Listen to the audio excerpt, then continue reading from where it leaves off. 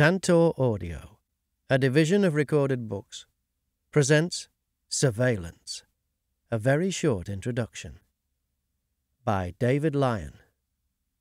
Narrated by Graham Mack. Chapter 1 Living with Surveillance. Surveillance is everywhere and always on. Cameras watch you on the highway, in the shopping mall, and on the bus. More personally, your phone allows companies to track you as you move from one environment to another. In many workplaces, your employer knows exactly what you are doing and how well you are performing at any given moment. Others may know how well you are in health terms. During the COVID 19 global pandemic, many countries enhanced their public health data systems to try to track and slow the infection rates. Conducted appropriately, along with adequate testing, treatment, and care, such surveillance can save lives. Surveillance is part of everyday existence. For instance, few householders realize the contribution they make to wastewater surveillance. The pandemic prompted authorities to upgrade their routine testing of domestic sewage, which contains revealing genetic matter. Successive waves of COVID 19 are often recognized first, before contact tracing, by this method. Such data enable health professionals shape their advice to ordinary citizens about wearing masks, being vaccinated, or when indoor activities can recommence. Public health departments can tell rapidly where the virus is heading before people show symptoms. But as with all surveillance, the genuine human benefits have to be weighed carefully against possible disadvantages. Vulnerable populations, such as minority groups, may not be fairly served by wastewater testing, and poorer countries may be unable to afford it, for example. Surveillance today depends on many kinds of data, not least from social media. Such data are used for consumer advertising and also by public health and security agencies.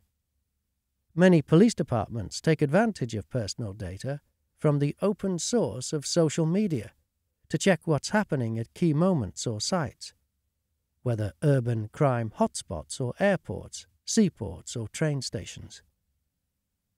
At the same time, of course, social media platforms also allow us to watch each other while health and fitness apps let us watch ourselves. Unless they were wanted criminals, had overstayed their visa, in some cases, were black or gay, or were suspected spies or inattentive workers, your grandparents were unlikely to have any such sustained contact with surveillance when they were young. And when they did, it was intermittent, contained within the organization, and, except with difficulty, could not be checked with other agencies. Surveillance was a word associated with person to person spying or police special agents, not an everyday reality or something we might engage with ourselves. It was simply not on the radar of daily life and didn't have the advantages of today's technology. Surprisingly, perhaps, considering how completely surveillance has enveloped our lives in the 21st century, Few people know much about it, except in a vague way. Do we, for instance, have any idea where our data goes when it leaves our phones and laptops? How we might benefit from it? Who has access to it? Who wishes to use it and for what purpose? We might be pleased that big stores know our preferences and make special effort to inform us when targeted special offers are available. We might worry about privacy or even identity theft. But who knows what other tangible harms might occur as a result of our data being used, misused, or abused by companies or government departments? And do we know how to judge if an apparent trade off, privacy for security or convenience, for example, is worthwhile or even safe? Do we even know that there may be a trade off? This book gives some context for exploring these issues. Today, surveillance has become an unprecedentedly central, pervasive, but largely unseen feature of society. Our lives have become increasingly visible to others who take a deliberate and systematic interest in their details. But those others are less and less visible to the people whose details are being collected, analysed, and acted upon. We may be aware of surveillance, but our awareness of its extent is limited. Also, surveillance activities have to be recognized in many contexts where they might not at first be expected.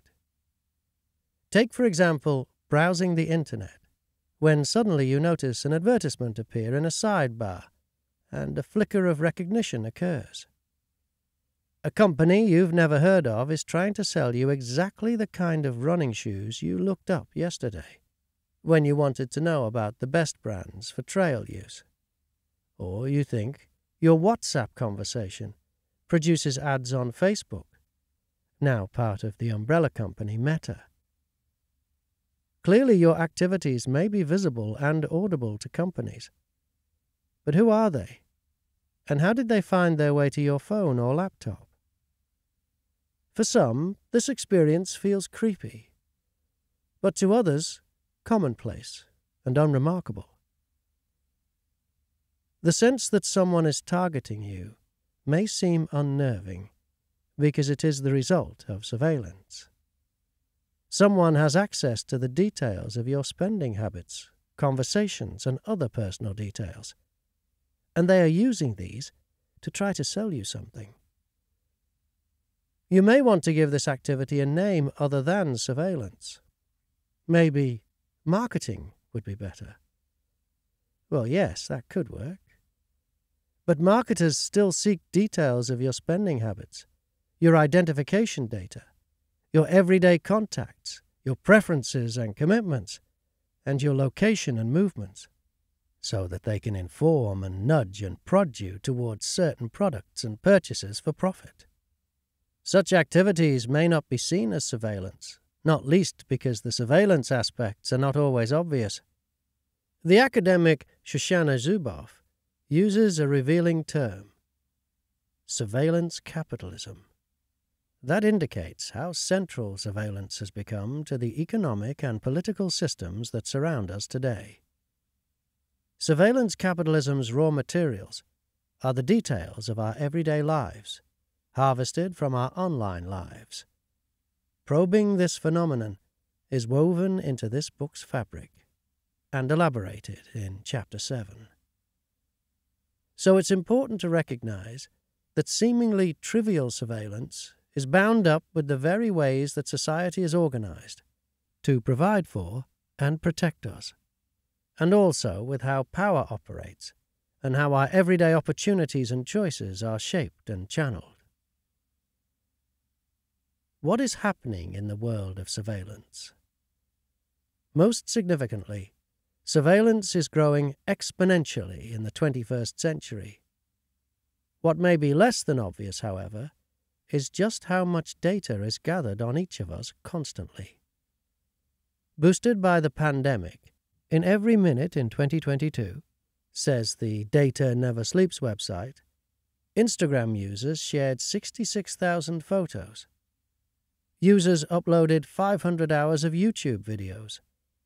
WhatsApp users shared 41,666,667 messages. Facebook users shared 1.7 million pieces of content. Snapchat users sent 2.43 million snaps, and 104,600 hours were spent in Zoom meetings not to mention WeChat, Weibo, Baidu, and other major Chinese platforms. Data from these are all recorded, the raw material of much surveillance. Assuredly, these figures will have mushroomed by the time you listen to this book, and the environmental consequences of such growth are also huge. By 2015, the data centers that power all kinds of digital services were responsible for 2% of greenhouse gas emissions, on a par with the aviation industry. That growth goes with other important trends listed here. Security is a major driver of surveillance, from local to global levels. Public and private surveillance agencies are increasingly intertwined. So it is hard to know where one ends and the other begins. What counts as private information is increasingly hard to define. Mobile and location surveillance is expanding so that where you are at a given moment is often known and acted upon. Surveillance practices and processes are becoming globalized, even planetary. With the advent of the so called Internet of Things, surveillance is embedded in everyday environments such as homes, buildings, and vehicles. Surveillance often depends on data taken from our bodies by biometric technologies such as body scanners or voice print recognition. We interact more than ever with surveillance using platforms of the sharing economy and social media. Mutual surveillance or social surveillance using social media is growing constantly. Three key issues run through this book. 1 Surveillance is an ambivalent practice. It offers great potential for human flourishing, as much can be discovered about how today's world works by scrutinizing the data produced by human presence and activities. At the same time, surveillance practices are always uncertain because they may not adequately portray persons or populations fairly or appropriately. Surveillance inevitably has ethics and politics. Thus, 2. Persons deserve to be respected as such, which may give rise to concerns about privacy and related claims, such as data justice. And 3. As groups in the population are often consequentially classified using surveillance, we focus on processes of social sorting to grasp how surveillance works. Simply put, data are used to distinguish between one group and another, so that the groups can be treated differently. In the public health example, groups in certain geographical areas can benefit from early warnings from wastewater data. But because the techniques and technologies of surveillance are always sensitive, their origins and basic impulses have to be transparent. Surveillance makes us visible in particular ways, which is then how we are represented and treated. To seek privacy and data justice is to find fair ways of revealing, characterizing, and dealing with people. Chapter 2 Visible Lives Invisible Watchers What is surveillance? A dictionary might say surveillance is close observation, especially of a suspect or criminal. But while surveillance includes such activity, this definition is much too specific and limited for today's digital world. At its simplest, surveillance is any attempt to find out about people in order to influence or manage them. More fully, surveillance is any routine, focused and systematic attention to personal details for purposes such as influence, management, protection, and control. However, these definitions describe surveillance from an operator perspective. We could also say that surveillance is the operation and experience of the collection, analysis, and use of personal data to shape choices or administer groups and populations. The experience of being surveilled may be positive when being watched by others is sought for the pleasure of performance. Many social media aficionados long to be looked at or even followed by others as a means of acquiring status. But it may also raise negative emotions if it is felt, for instance, that surveillance is intrusive or a tool for enforced conformity.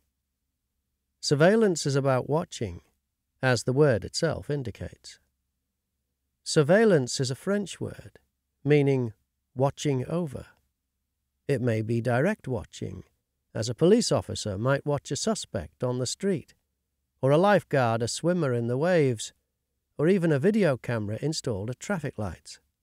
But it may also be datafied, tracking travellers by their data trail, or, in political scientist James Scott's words, as seeing like a state. This means making citizens visible in particular ways, through, say, tax paying or household data from a census, so that their activities can be monitored and managed. Indeed, while the word surveillance is rooted in watching and visibility, from early times it appeared in other modes. Think of eavesdropping, or checking written records, or even more obscurely, checking wastewater.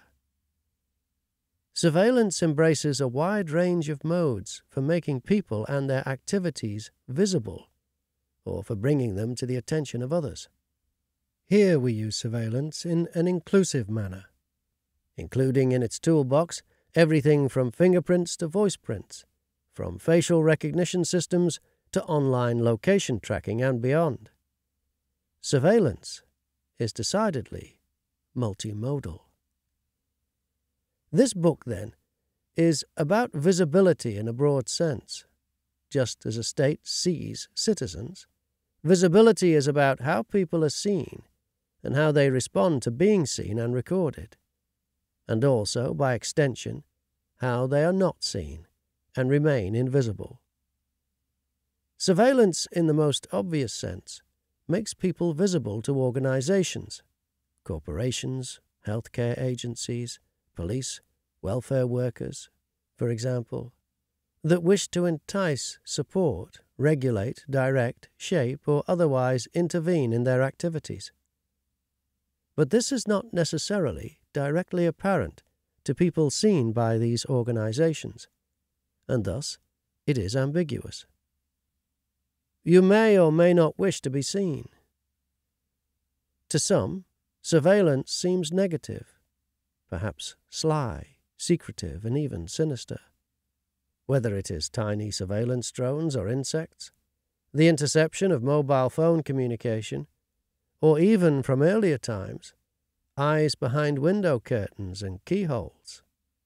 Think Shakespeare's play Hamlet, where much watching is surreptitious. Surveillance seems to be about being seen by unseen watchers. Even if what is seen is in the form of digital data and is not literally visible. We often appear to have little choice about how we are seen and assessed through our data.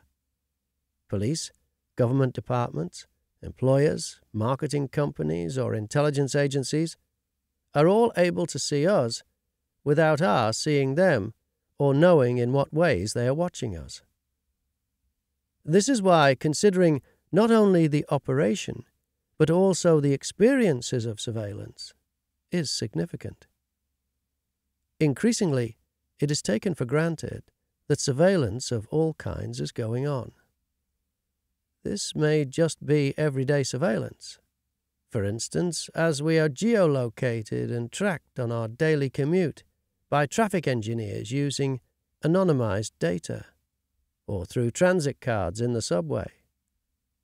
Or it may have to do with concerns about terrorism and public safety, especially since the attacks on New York and Washington on 9 11, and subsequently from Mumbai in 2008 to Myanmar in 2021.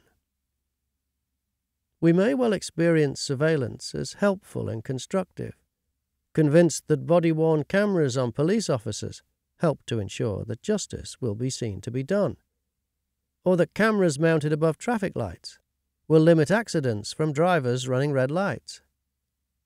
Many are reassured to know that both checked and carry on bags are x rayed at the airport, because such systems are calibrated to detect potentially hazardous items, such as guns or bombs. And it is useful for cities to know that today's city subway payment systems, debit cards, smartphone apps, or loadable cards ensure that everyone has paid appropriately for their ride. Such reassuring aspects of everyday surveillance should not be discounted, Police ought to be accountable for their actions, and drivers for their behaviour at traffic lights. Anxious air passengers should be able to relax, knowing that bags are checked for safety. And underground commuters should know that a uniform system collects their fares.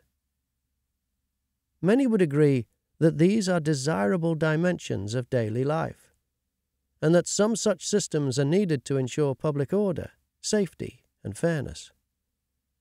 At the same time, such systems also demand public debate about surveillance. Does using a subway smartphone app mean other data are collected for purposes unknown to us? How efficient are the X ray machines and CT scanners at airports?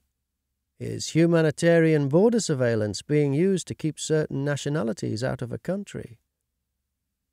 Does the level of accident reduction justify the installation of red light cameras? Will data from body worn cameras be acceptable in a law court? There are undoubted benefits from many surveillance systems. But the systems are complex and many legitimate questions arise as soon as any new surveillance system, whether seen as surveillance or not, is announced or installed. On one hand, surveillance may be seen as an intrusion on our private lives, or as a brake on our freedom to think, say, or do things that we believe to be our own business. Unless, of course, we have actually broken a law.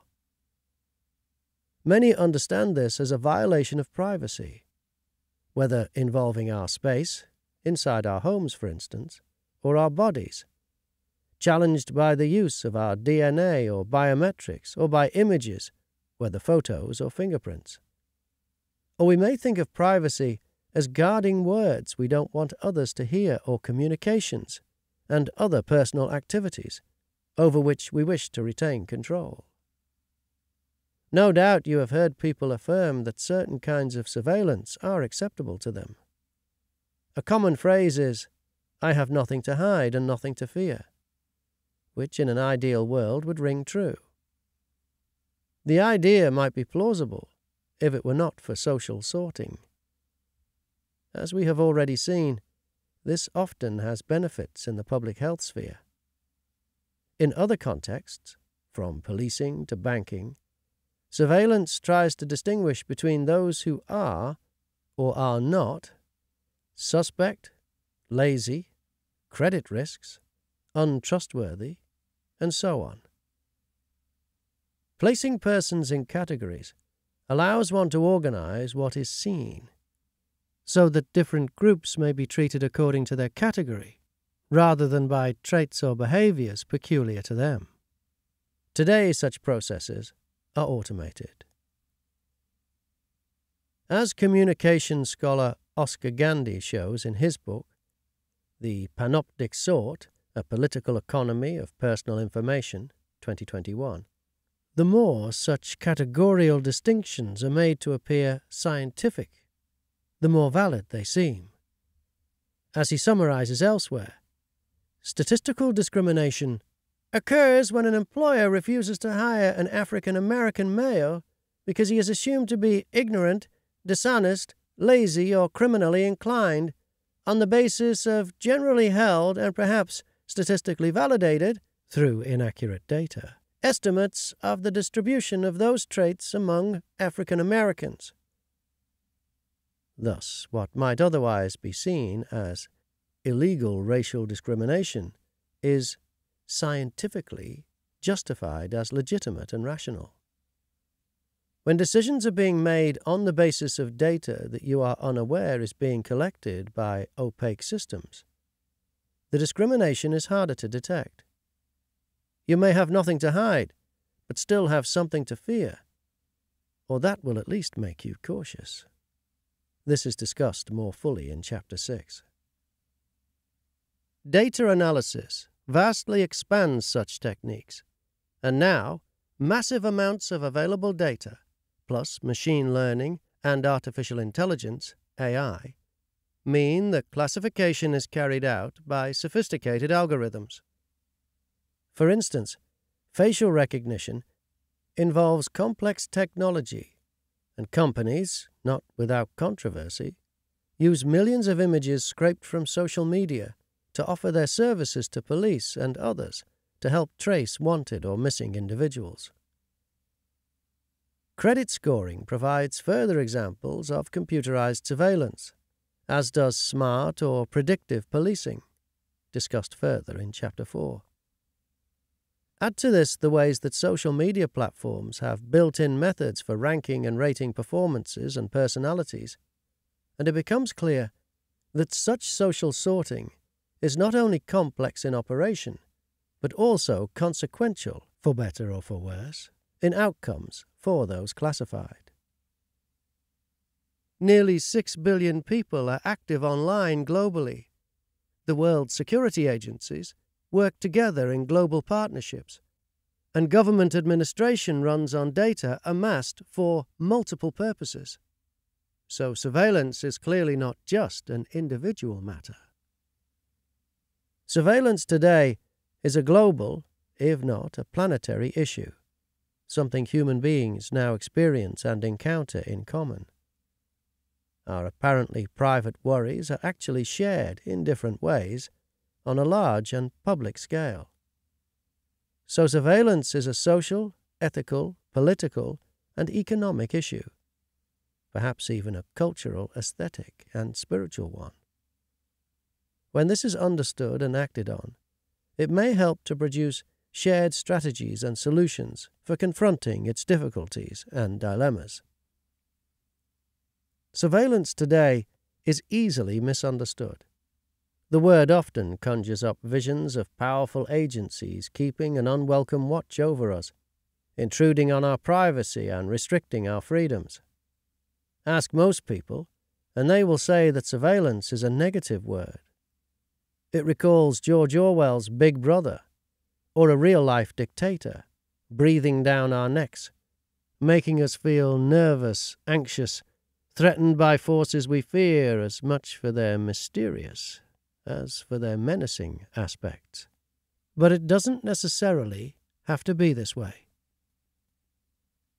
Surveillance, a complex story. Surveillance has antique roots, whether in Quan officials administering China's Shang dynasty almost 3,000 years ago, or Greek military espionage under Alexander the Great. The Hebrew scriptures note how watchers stand guard at the city gate or on the city wall, scanning for danger, monitoring movement, warning of attack, theft, or unusual behavior. The Christian New Testament tells of Jesus' parents obliged by an imperial Roman census to return to their hometown of Bethlehem to be enumerated. It was not until about the 16th century that surveillance began to affect people in more routine ways. Increasing population mobility from the 17th century in Europe, for example, prompted concerns about who had responsibility for the poor, producing investigations and interventions. More generally, as sociologist George Simmel observed, the figure of the stranger becomes more significant. Trust was challenged as, proportionally, face to face relationships gradually gave way to more fleeting encounters. Tokens of trust were needed, which by the 20th century appeared in the form of identification, driver's licenses, credit cards, and passports. These then became the basis for citizenship claims.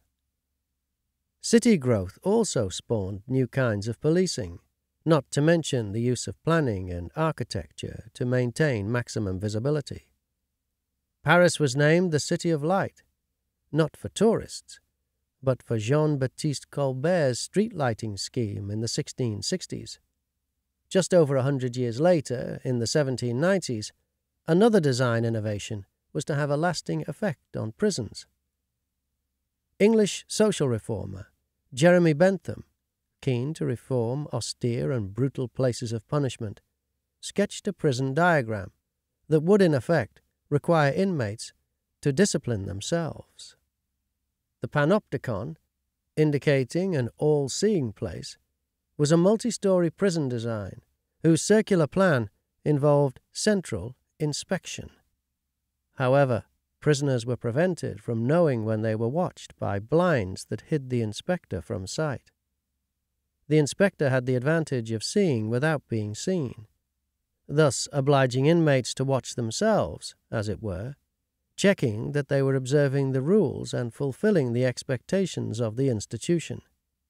The philosopher Michel Foucault later pinpointed the panopticon as a pivot on which modern surveillance turned. A fascinating thought, but one open to many questions. In this all seeing place, Foucault averred, visibility became a trap. It was intended to automate control, dispensing entirely with physical violence and relying instead on the prisoner's own self discipline fabricated from fear of the consequences of non-compliance. In this sense, the surveillance was formative, in that those subject to the hidden gaze would be reformed. We hope you enjoyed this preview. To continue listening to this audiobook on Google Play Books, use the link in the video description.